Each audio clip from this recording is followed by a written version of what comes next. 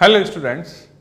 In the part 1 of pharynx, we discussed about the structural organization of the wall of pharynx in which I told you about the mucosa, I told you about the submucosa where you have the modification is known as pharyngobasilar fascia and then we discussed the outermost fourth layer that is your buccopharyngeal fascia. In today's lecture, we will discuss the third layer that means between the buccopharyngeal fascia and pharyngobasilar fascia, we have the muscular layer of the pharynx.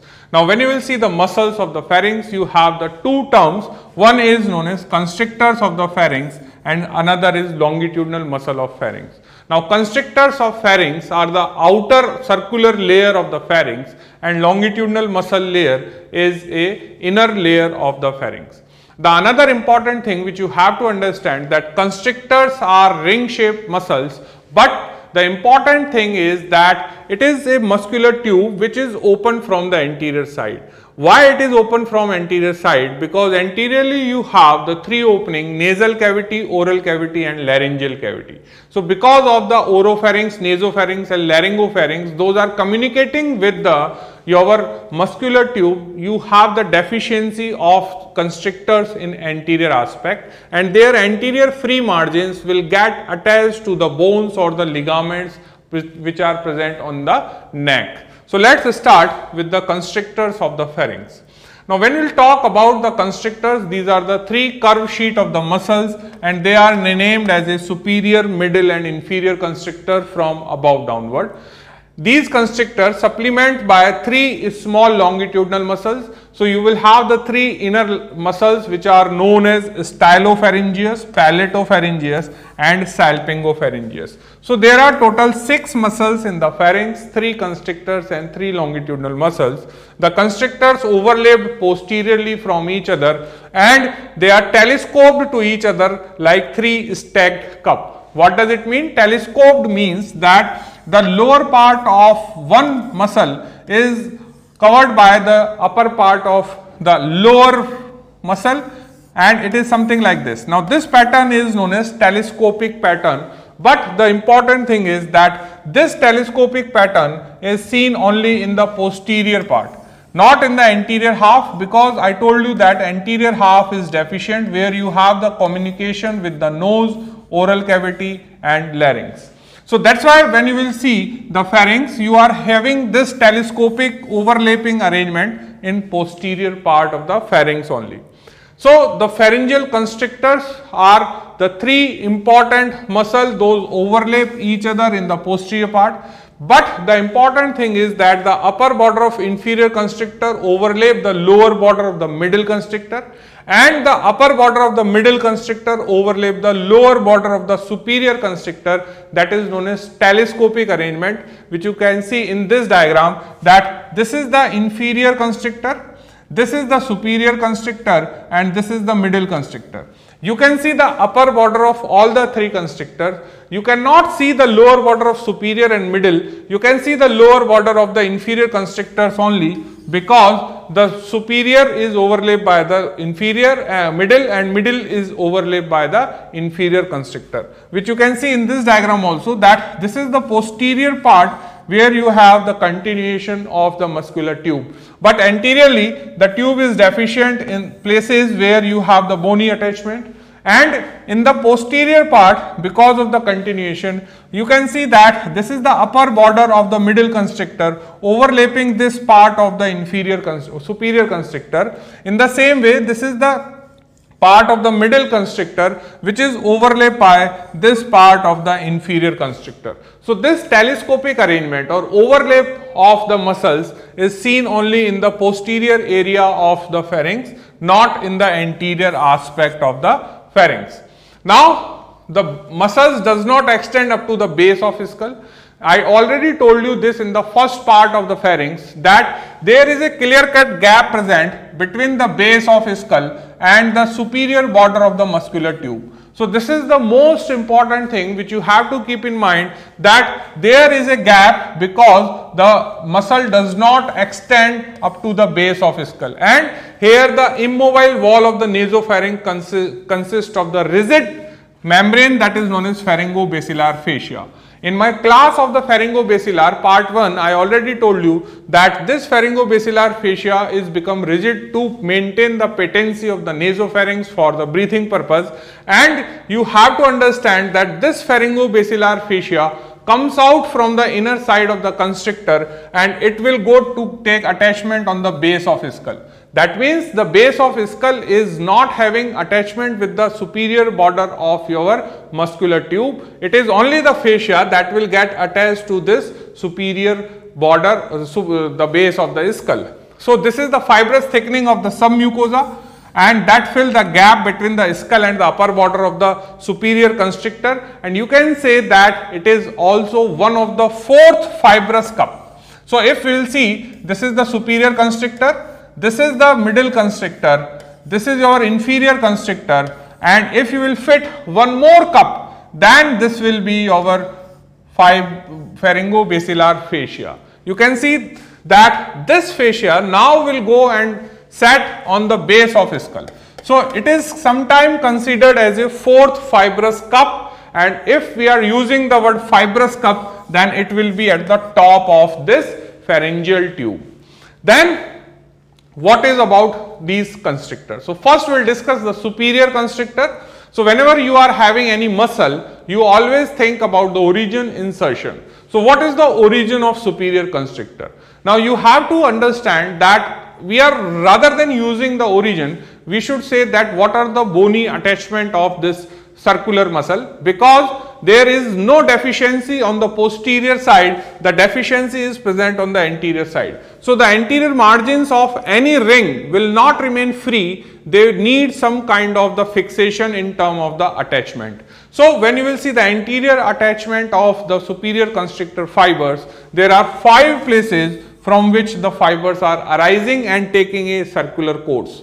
So, the first is the lower part of the posterior border of medial pterygoid plate. Now, this is the medial pterygoid plate.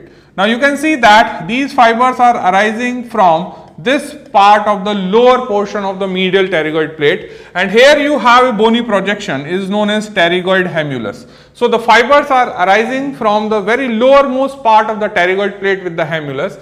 Then you will have the pharyngobasilar fascia. So, the fibers is also taking place outside the pharyngobasilar fascia because if you will see the layer you have the mucosa then you will have the submucosa then you will have the muscle layer and pharyngobasilar fascia is a modification of the submucosa. So, but obviously it will take origin outside the part of pharyngobasilar fascia. Then you will have pterygomandibular raphe. Now, this is the pterygomandibular raphe. Now, this pterygomandibular raphe extends from the pterygoid hamulus to the inner side of the mandible behind the third molar and this pterygomandibular raphe will give origin posteriorly to the superior constrictor and anteriorly it will give origin to the fibers of buccinator muscle. And on this whole area on outer side you have the outermost layer is known as buccopharyngeal fascia that is adipose layer which not only cover your superior so constrictor but also cover your buccinator muscle. So this is the important thing which you have to understand it is a major origin of your superior constrictor. If somebody will ask you what is the major origin or from which point the maximum fibers of superior constrictor arises? Answer is this uh, uh, raphe which is extending from the medial pterygoid plate to the mandible that is known as pterygomandibular raphe. Apart from that I told you it arises from the inner side of the mandible plus it also takes some fiber origin from the tongue. So, it is a quadrilateral muscle you can see that it is having the quadrilateral appearance and the superior constrictor passes backward from the pterygomandibular raphe while the buccinator passes forward from this raphe which I already explained. Now, in this diagram of the mandible, when you will see the inner side of the mandible, you can see that this is your uh, inner surface of the uh, this uh, ramus and the body of the mandible and you have the space now this space, this red dot, this red dot is showing your lower attachment of the pterygomandibular raphe. Now when you will see here the attachment of pterygomandibular raphe, it is attached to the hamulus and in the lower part it is attached on the inner side of the mandible. But where on the inner side? On this dot on the inner side of your mandible. Now superior constrictor insertion pattern is the another important concept Because when you will see the superior constrictor, the fibers are going in upward direction, fibers are going into the horizontal direction and fibers are going into the lower direction. So, you will have the three sets of the fiber. Now, the first is the higher fibers. The higher fibers are arching and they directly will get attached to the pharyngeal tubercle which is a bony point on the base of skull in occipital bone. So, this is the higher fibers and these fibers will get attached here. Now, when you will see the higher most fiber, you will find that there is a gap. Now, this gap is present between the superior border of the superior constrictor and the base of a skull and we are saying this again and again that this muscular tube is not getting attached directly to the bone and you have the pharyngobasilar fascia that is going to fill this space. Now, this space is having a one important name and that is known as sinus of Morgagni. So, you have this question what is the name of this space that is between the base of skull and superior border of the superior constrictor muscle the space is known as sinus of Morgagni. The middle fibers are horizontal fibers and these middle fibers will meet with the fibers of the opposite side in the midline. Then you will have the lowermost fibers and these lowermost fibers are very deep. They are fibers which extend at the back and as far as down at the level of the vocal fold and insert into the your raphe and lying within the middle constrictor. Why middle constrictor? Because I already told you that the lower part of the upper constrictor overlay by the upper part of the middle constrictor. So, this is your superior constrictor, this is your middle constrictor. So, the lower fibers of your superior constrictor overlay by this upper part of middle constrictor. So, here is the overlapping which you can see here that overlapping is very well appreciable. This is your middle constrictor and the lower fibers are entering inside. But how deep they will go? They will go up to the level of vocal cord. Vocal cords are present here inside your thyroid cartilage. Vocal cords are present inside the thyroid cartilage. So, these fibers will go very deep till this vocal cord level. So, this is the important thing which you have to keep in mind that when we are reading the inferior constrictor, you will realize that when the inferior constrictor is overlapping, it is not only overlapping the fibers of your middle constrictor, but these fibers are also going down into this inferior constrictor and what is the level? Level is vocal cord level. Clear? Then we have the middle constrictor. Now, what is the origin of middle constrictor? The middle constrictor fibers arise from the stylohyoid ligament. Now, where is the stylohyoid ligament? Now, this is your styloid process and this is your hyoid bone. Now, in between you have the connection is known as stylohyoid ligament. Now, this ligament is giving the origin to this muscle and the muscle is having narrow origin and it is spread out posteriorly. That is why it is said that it is a fan shaped muscle.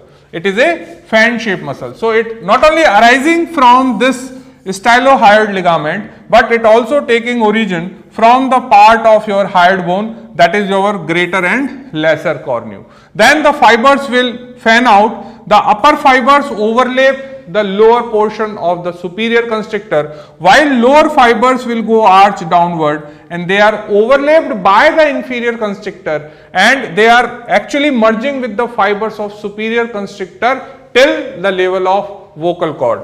So, they sweep posteriorly and diverge widely that is why it is said that it is a fan shaped muscle. So, when you will see the insertion I told you that upper fibers they will sweep upward and they enclose the lower portion of the superior constrictor and they will insert into the median raphe. So, median raphe is here which is present in the posterior side of your pharyngeal wall and this raphe is extending from the pharyngeal tubercle above and it will uh, as you will go down. The lowest fiber they arch down as far as the vocal fold. I hope now it is understood why we are using the word vocal fold because vocal fold comes here and these is actually the origin of your inferior constrictor. And this inferior constrictor is overlapping the lower part of the middle constrictor. But you have to understand that up to what level the middle constrictor fibers remain inside the uh, inferior constrictor. Answer is up to the level of vocal fold. And here not only the fibers of middle constrictor but the fibers of superior constrictor is also reaching in this area So this is the important thing. Now the second thing is that you are having a gap between here, here between the uh, thyroid and hyoid bone. Now the anterior gap between the middle and inferior constrictor that means this is the inferior constrictor, uh, this is the middle constrictor, this is the hyoid bone, this is the thyroid cartilage. Now this gap is filled by a membranous layer and this membranous layer is known as thyrohyoid membrane. Then we have the third constrictor that is inferior constrictor. Now inferior constrictor is very important because the inferior constrictor is thickest constrictor of the pharynx.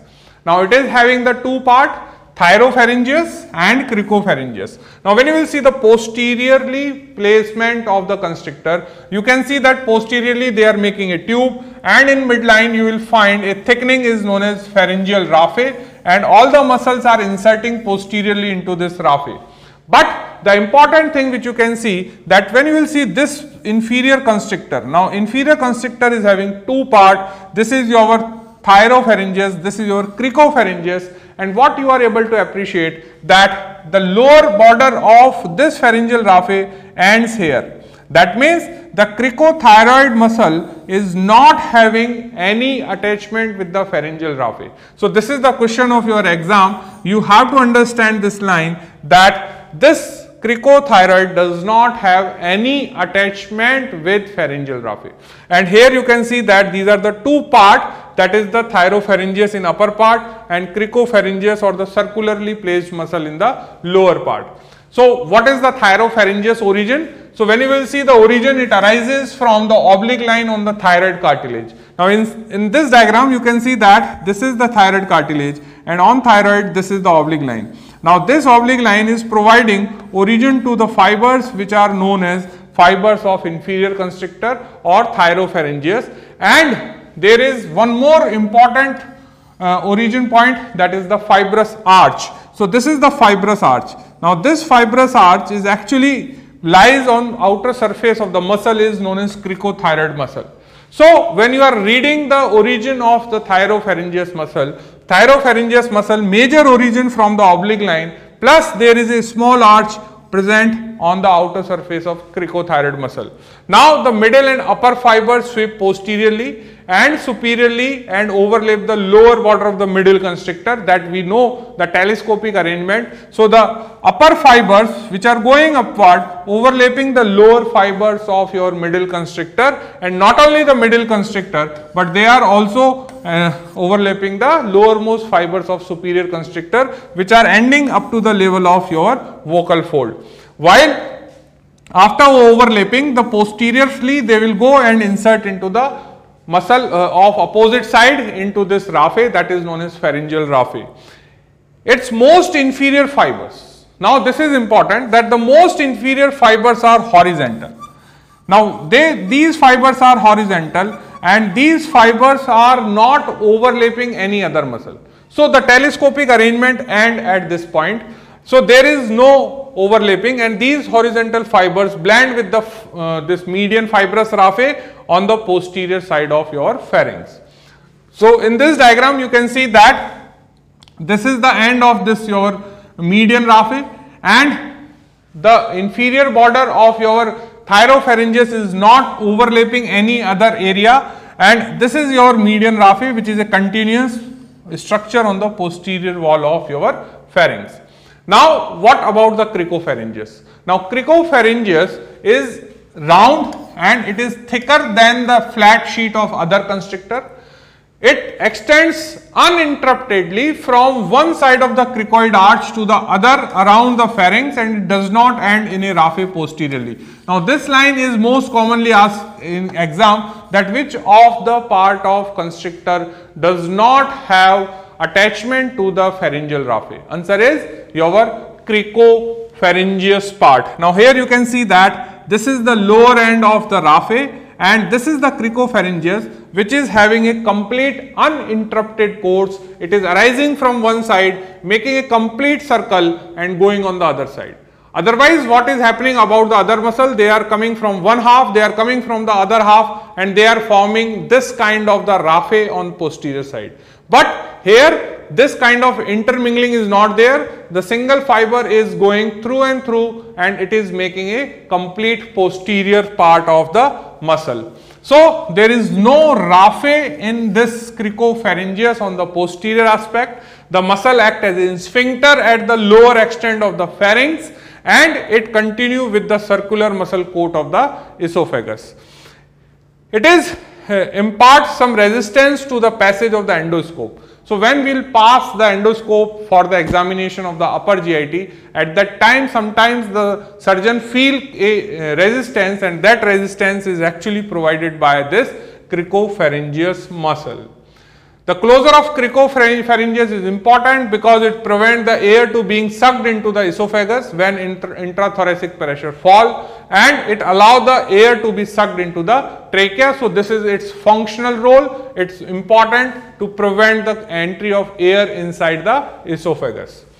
The junction between the oblique fibers of thyropharyngeus and the circular fibers or horizontal fibers of cricopharyngeus are not overlapping and that is why there is a potential weakness is present on the posterior or back surface in the midline of the pharynx and that is known as Killian's dehiscence. Now here you can see that you have the horizontal or the circular fibers and these are the fibers of your cricopharynx and you have this area these are the fibers of your thyropharynx. So, because the overlapping or telescopic arrangement is not there this weak portion this weak triangular area which you are able to appreciate here is become the site and where sometimes the area is become the site for the production of the inner mucosa and this space is known as Killian's dehiscence.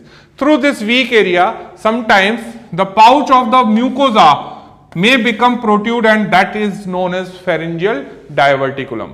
Now what is the cause of the protrusion of the mucosa? The answer is the inappropriate contraction of the cricopharynx and why there is a inappropriate contraction of cricopharynx answer is neuromuscular incoordination because of the neuromuscular incoordination that means when the thyropharyngeus is contracting at that time the cricopharynx relax. So the food will go down. But suppose there is a in coordination between the relaxation due to neuromuscular uh, in coordination what will happen if the thyropharyngeus cricopharyngeus contract simultaneously the intrapharyngeal pressure becomes so high. And once the pressure becomes so high the mucosa will protrude through this gap as this gap is not having any support in form of overlapping structure of the muscle.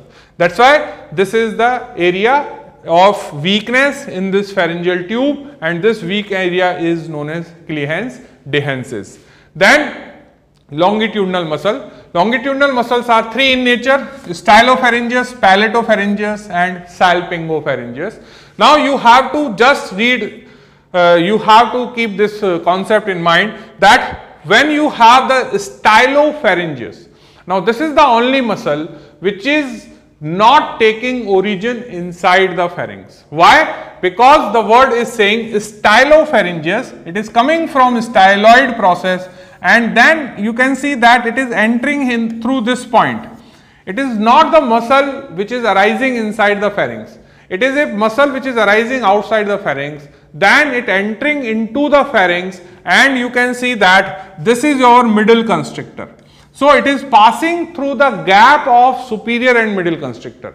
So, when you will put the cup inside the cup, at that time you have a gap. Now, through this gap of superior and middle constrictor, you will find that the stylopharyngeus enters in, inside the pharynx. So, this is the most important question in your exam that which muscle of the pharynx does not take origin inside. Answer is stylopharyngeus. It take origin from outside from the styloid process. So, if you will see this diagram, in this diagram also you can see that this is your middle constrictor.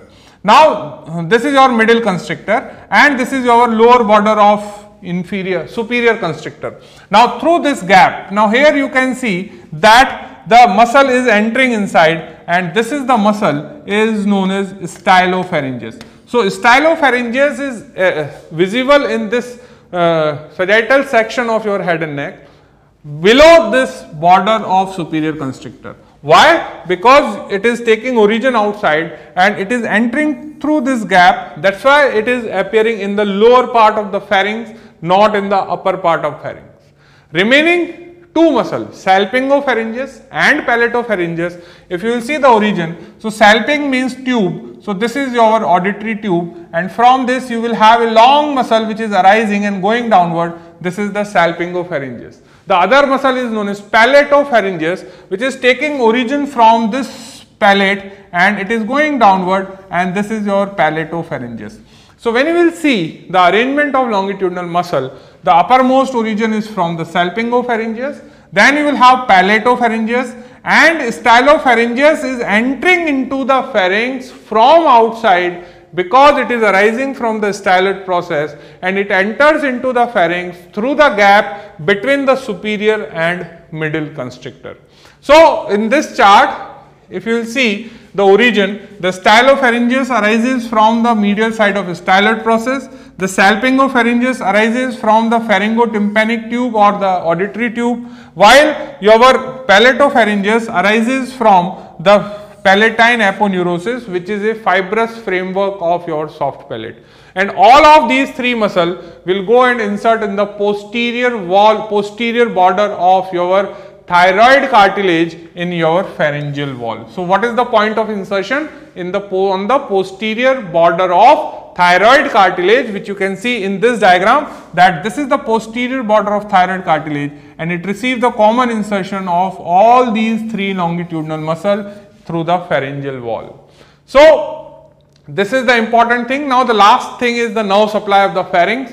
In the first part I already explained, but again we revise that all the muscles of the pharynx supplied by pharyngeal plexus except stylopharyngeus. Stylopharyngeus is supplied by the glossopharyngeal nerve and the glossopharyngeal nerve is a ninth cranial nerve and if you remember the third pharyngeal arch if you remember the third pharyngeal arch in the development of head and neck, you realize that the third pharyngeal arch nerve is the glossopharyngeal nerve and the glossopharyngeal nerve supplies the stylopharyngeus. That's why the third arch muscle is stylopharyngeus. So, you can keep this thing in mind with the help of embryology.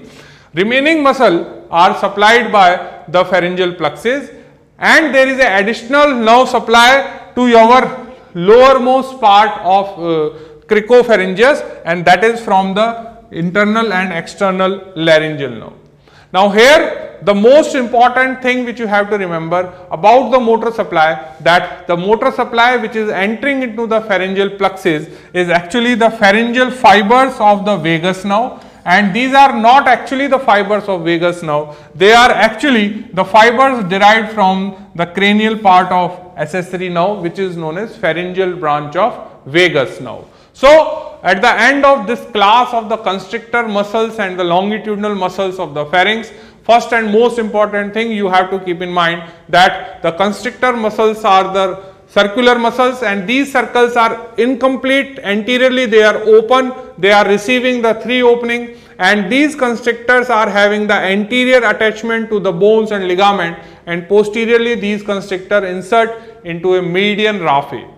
The another important thing is that they have the telescopic arrangement. Then you have the weakest part in the posterior wall of the inferior constrictor that is known as Killians dehiscence and the important thing which you have to always keep in mind that there is a one muscle which is not the part of pharyngeal origin that is stylopharyngeus which arises from outside and later on it enters inside the pharynx through a gap between the superior constrictor and middle constrictor.